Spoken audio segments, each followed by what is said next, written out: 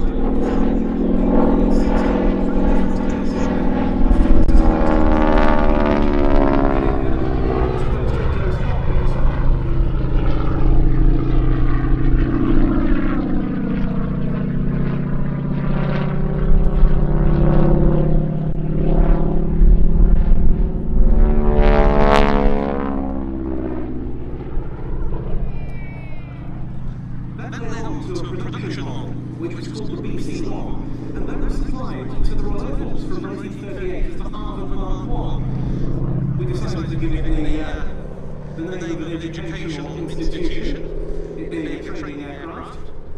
It being an American training aircraft, it was the name of an American educational establishment. We gave it.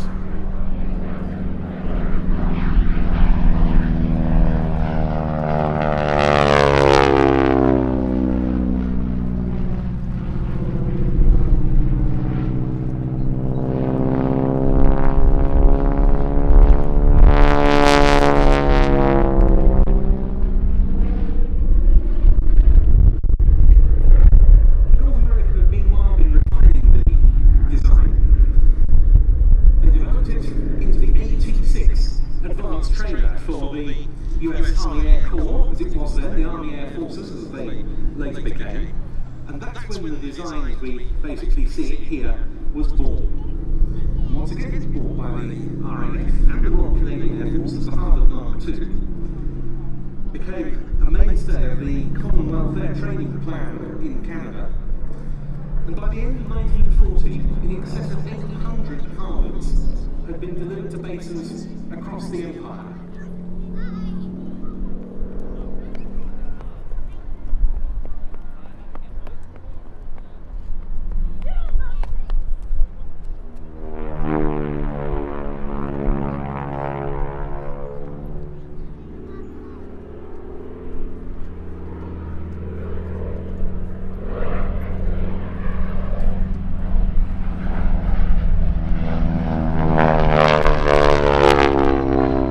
It's made a simply outstanding contribution to the war effort.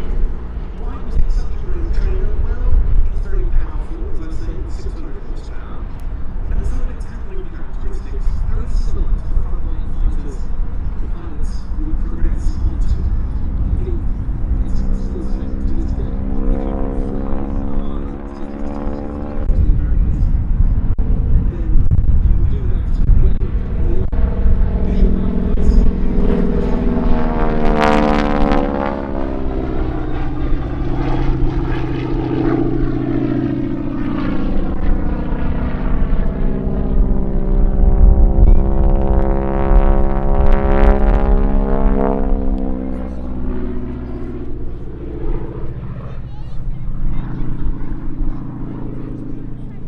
Because there's also the point that the aircraft could bite an unwary student. Of its ground handling characteristics could be iffy as well. And that was something that certainly pilots of single engine fighters of the era needed to be prepared for.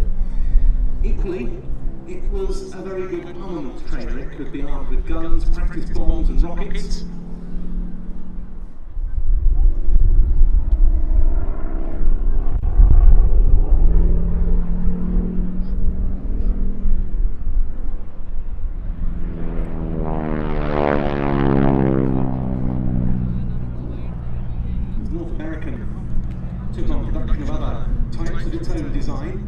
manufacturing of Harvards and Texans was increasingly far down, particularly the Harvard. These two manufacturers in Canada. Noorduyn was one, producing the uh, Mark 2B Harvard.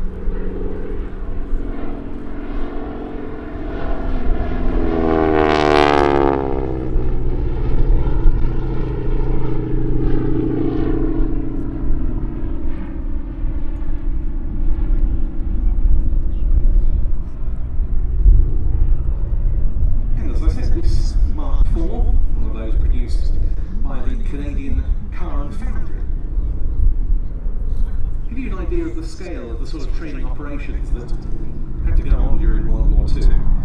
Initially, RAF Harvard's equipped service train flight training schools stationed in the UK itself.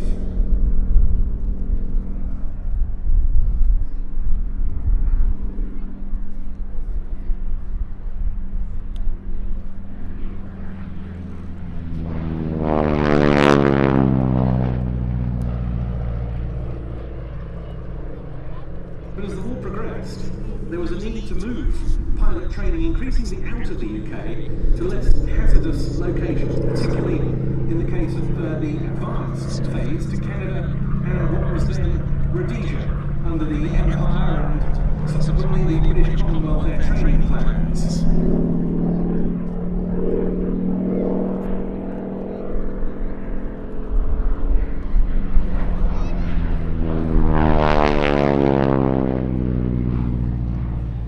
In Canada alone, in excess of 167,000 aircrew, including more than 50,000 pilots, passed through those training facilities. Nearly 15,500 examples of the T6, AT6, Harvard, or the SNJ as it was known to the US Navy, were built in total.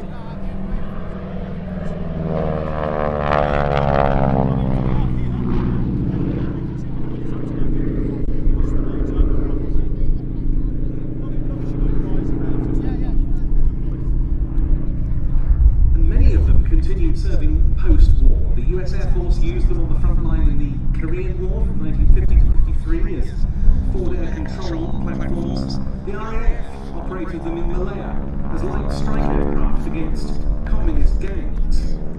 The French used them during their colonial wars in Algeria.